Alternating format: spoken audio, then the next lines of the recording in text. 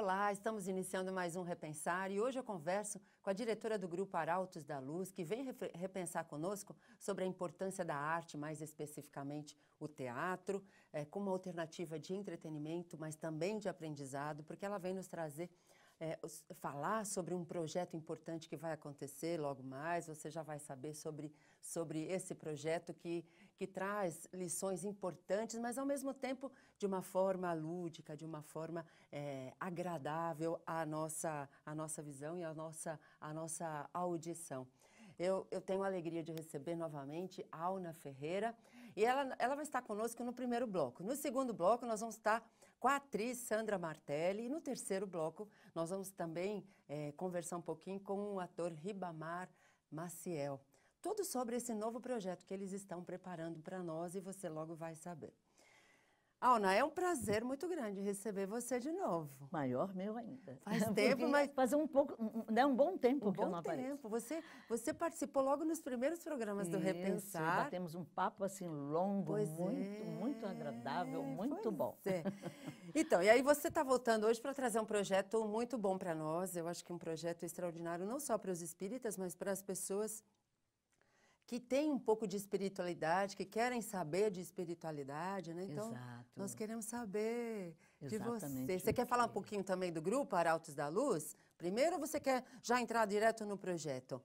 Olha, podemos falar um pouquinho do Arautos da Luz, que é uma coisa muito boa, muito gostosa que está acontecendo. Nosso grupo está fazendo 10 anos este ano de existência, de trabalhos ininterruptos. Então, justamente veio um prêmio para todos nós, que Certo. foi participar desse projeto. Esse projeto chama Nos Passos do Mestre.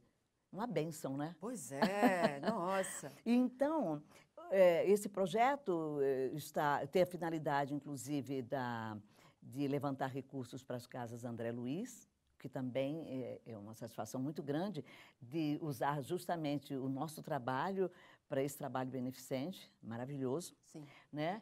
E também ele, ele foca o quê? A, junta, vamos dizer assim, além do nosso trabalho, é, é, a- o RW, que é uma empresa de turismo que todos conhecem, Conhecem? né? É. E também a TV Mundo Maior. E eles me convidaram justamente neste projeto para fazer a parte artística. E o projeto tem como objetivo eh, levar as pessoas, no dia do evento, a conhecer o, de perto as experiências que pessoas eh, vivenciaram nos, no- nas excursões que foram feitas para as regiões aonde Jesus viveu, né? Por isso nos passos do mestre. E as pessoas, os expositores são justamente aqueles que lá fizeram a exposição sobre a ótica espírita ou não eh, daquelas passagens. né? Eles estavam ali ao vivo, vivendo, vivenciando tudo aquilo. E eu vi depoimentos, inclusive, de pessoas assim muito emocionadas e muito felizes. Então, para nós é uma alegria muito grande Sim. de estar participando desse, desse, desse- desses dois dias de evento. O que é que nós vamos fazer?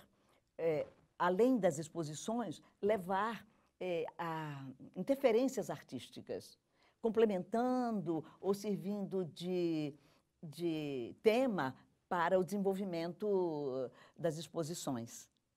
E Isso vai desde a criação, vem de capela, Sim. nós vamos partir de capela e passar pela, pelo o aparecimento do planeta Terra, da criação do planeta, dos povos primitivos, e ali tem aquelas experiências todas que são eh, as religiões né, que, que os povos eh, estiveram, desenvolveram, e ter contato com cenas muito bonitas, Moisés, Saulo de Tarso, eh, enfim, eh, chegar até os dias atuais Sim.